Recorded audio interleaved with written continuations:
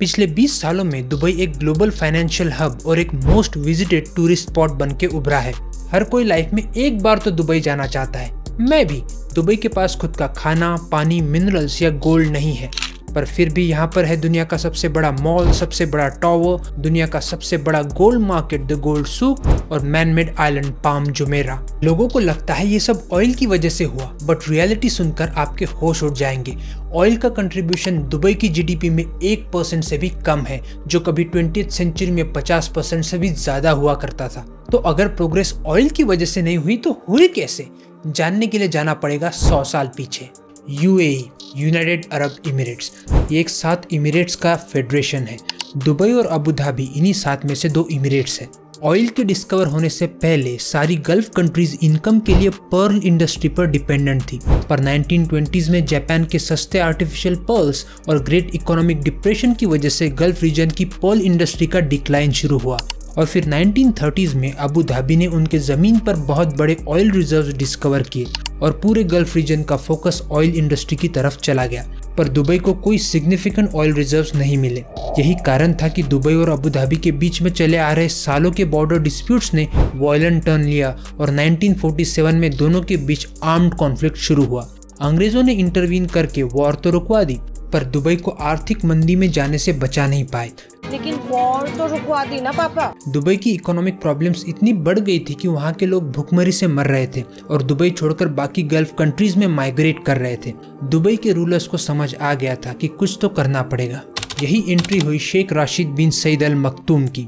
उन्होंने दुबई का रूलर बनते ही वहाँ के इंफ्रास्ट्रक्चर को पूरे तरीके से ट्रांसफॉर्म करने का डिसाइड किया। जिसके लिए उन्होंने दो सोर्सेस से फंडिंग इकट्ठा की। Number one maritime trading activities of the state समुद्री मार्गों की ट्रेडिंग एक्टिविटीज़ से। नंबर टू मिस्टर शेख ने एक बड़ा लोन लिया दुबई में इंफ्रास्ट्रक्चर बिल्ड करने के लिए। वो पैसा उन्होंने प्राइवेट कंपनीज़ को एस्टेब्लिश करने पर electricity lines telephone services trading ports और दुबई का सबसे पहला एयरपोर्ट बनाने के लिए खर्च किया।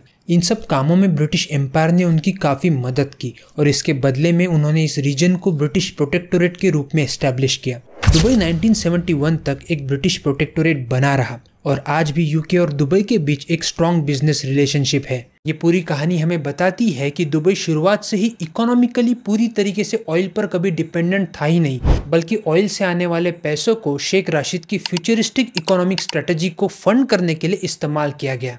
स्ट्रेटजी ये थी कि दुबई की ऑयल बेस्ड इकोनॉमी को टूरिज़्म ट्रेड और फाइनेंस बेस्ड इकोनॉमी में ट्रांसफॉर्म किया जाए।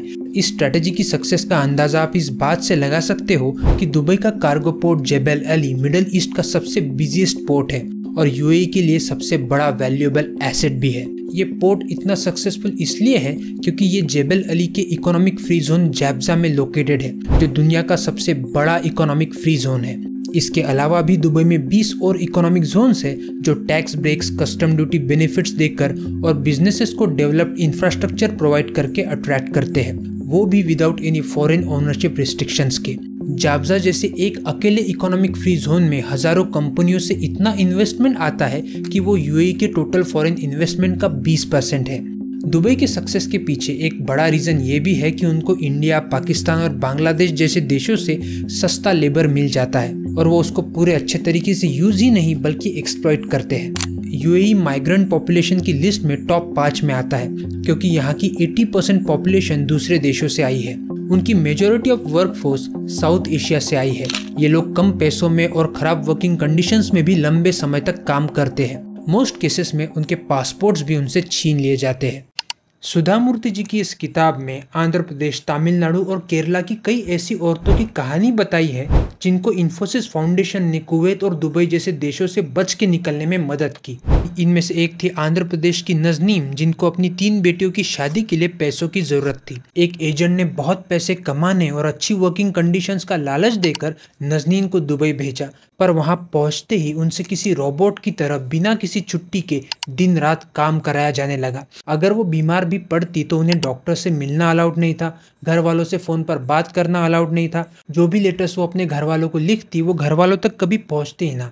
और तो और एक बार जब बीमार होने की वजह से उन्होंने अपनी मालकिन से छुट्टी मांगी तो गुस्से में आकर उनकी मालकिन ने गर्म स्पून से उनके हाथ को जलाया दूसरी एक थी केरला के ऑर्फनेज में पली बड़ी कॉन्वेंट टीचर ग्रेसी जिनको वहाँ जॉब मिली थी बच्चों को घर पे ट्यूशन पढ़ाने की। नजनीन के जैसे तो शुरुआत में ग्रेसी के साथ बुरा बर्ताव नहीं किया गया, उनको इंडिया आने के लिए वेकेशन वगैरह भी मिल जाती।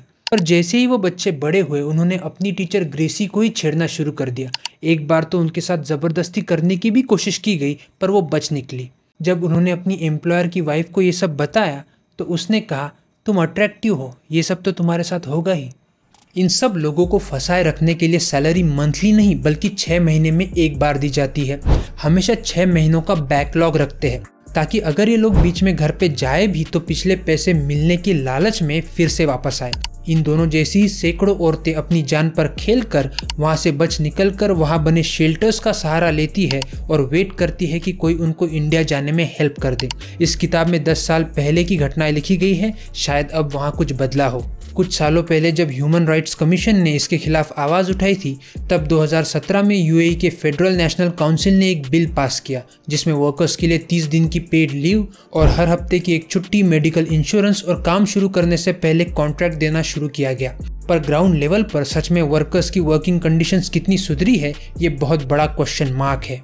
दुबई के रूलर्स और इन्वेस्टर्स के लिए ये सस्ता वर्कफोर्स ही है, जिसने दुबई को दुनिया का फास्टेस्ट ग्रोइंग मेट्रोपॉलिटन सिटी बनाया है। इंटरनेशनल ट्रैवल में दुबई का एयरपोर्ट आज दुनिया का सबसे बिजिएस्ट एयरपोर्ट में से एक है। दुबई के विजनरी फ्यूचर प्लान में अब शामिल है आर्टिफिशियल इंटेलिजेंस ब्लॉकचेन टेक और हाइपरलूप जैसी एडवांस ट्रांसपोर्टेशन सिस्टम जब शेख राशिद रूलर बने थे, तब वहाँ सिर्फ़ एक रोड एक हॉस्पिटल और कुछ बेसिक स्कूल्स ही बनी हुई थी। जिस तरह शेख राशिद की एक इकोनॉमिक स्ट्रेटजी की वजह से दुबई इतना अमीर बना, ठीक उसी तरह आज से 1500 साल पहले रशिया के एक राजा की वॉर स्ट्रेटजी की वजह से रशिया दुनिया का सबसे बड़ा देश बना बाय एरिया जानने के लिए देखिए रशिया के सबसे ताकतवर आदमी की कहानी।